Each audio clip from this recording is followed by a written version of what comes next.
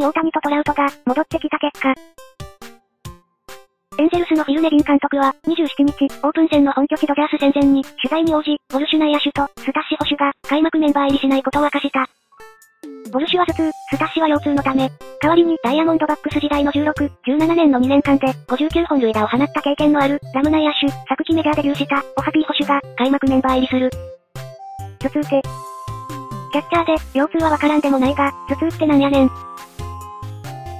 頭痛がするのは、大谷とトラウトだよ。大谷とトラウトが戻ってきて、息苦しくなったのかな。頭痛で離脱って、初めて見たわ。半分サボりかがちであかんやつやん。スタッシは、まあちょうどええからええわ。ウォルシュの謎の頭痛と、不眠はなんなんや怖いわ。トラウタニの悲劇。ウォルシュは、大谷の打撃練習を見ると、心が傷つくから、あまり見ないようにしてるとか、言ってたし繊細そうやな。大谷トラウトサンドバルも、謎の頭痛で悩まされてるらしい。謎ちゃうやろ。